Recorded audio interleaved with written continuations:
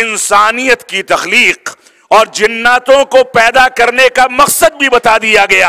اللہ رب العالمین نے فرمایا، وما خلقت الجن والانس الا ليعبدون کہ ہم نے ان انسانوں کو جو دو کان رکھتے ہیں، دو آنکھیں رکھتے ہیں، زبان رکھتے ہیں، قوت گویائی دی، دیکھنے کی صلاحیت دی، سننے کی صلاحیت دی، ایک ایسا دل و دماغ دے دیا کہ آگ میں نہیں کودتے، گڈھے میں نہیں کودتے ایسا شعور دے دیا جس کی بنیاد پر یہ اپنے بچوں کو پالتے ہیں، اپنے محلے آباد کرتے ہیں، اپنی مسجدیں تعمیر کرتے ہیں، اپنے مدارس کو تعمیر کرتے ہیں، اپنے علاقے میں ماحول بناتے ہیں، لوگوں سے لین دین کرتے ہیں، رشتہ داریاں کرتے ہیں۔ یہ سارا کا سارا سسٹم جو دنیا کا چل رہا ہے، انسان کو تجارت کرنی ہو، انسان کو کھانا پینا ہو، انسان کو سونا اور جاگنا ہو انسان کو بیٹھنا، اٹھنا ہو، انسان کو سفر کرنا ہو، انسان کو بڑوں کا احترام کرنا ہو،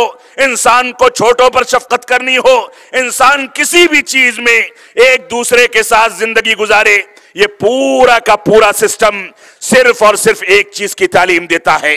وہ تعلیم اس آیت کریمہ کے اندر ذکر کر دی گئی کہ ہم نے انسانوں اور جناتوں کو نہیں پیدا کیا، لیکن اگر پیدا کیا ہے تو صرف اس لیے کہ میری عبادت کریں۔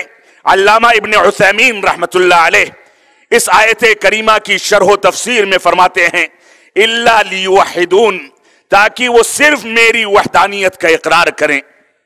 یہاں یعبدون سے مراد جہاں انسان عبادت کرتا ہے، وہی عبادت قابل قبول ہوگی، جس کو توحید کے عقیدے پر کیا جائے۔